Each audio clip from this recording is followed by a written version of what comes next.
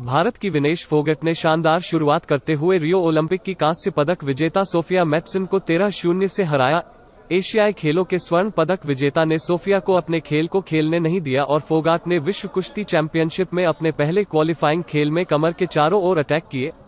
अब Vinesh quarter final में Japan की दो बार की विश्व चैंपियन मायू मुकेदा से भिड़ेंगी, जिन्होंने यूक्रेन की यूलिया खावलदजी ब्लाहिना को छह एक से हराया।